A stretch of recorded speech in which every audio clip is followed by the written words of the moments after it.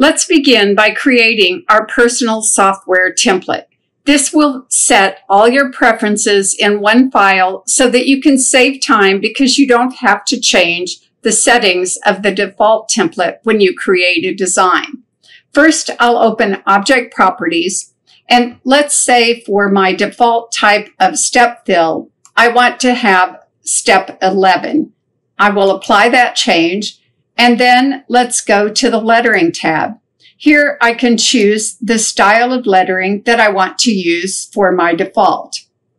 I can change the size of the default of this font as well and apply that change. I can click on any one of these tabs and set my preferences.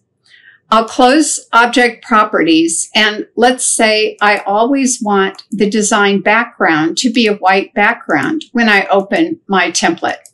I make those changes. I can make any of the other changes here and click OK. If I right click on my threads, I can set my preference for my thread brand. I could even set a preference to do my own personal thread chart if I've created my own thread chart. I'll select the chart and click on match and assign all and click OK. Now when I rest my cursor on any of the color tips, it shows the color of the Isacord thread. So the idea is you set up the template just the way you want it to be and then select File, Save as Template.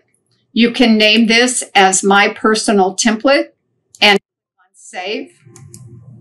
And you can close the file now, when I go to New Blank Design, my personal template does not open, but the normal template opens. To access my personal template, I must go to File, New from Template, and I can select my personal template from the drop-down choices. When I click OK, I can then begin designing and creating from my personal template. You can create multiple types of templates to suit your needs. They will always be accessed through the File menu.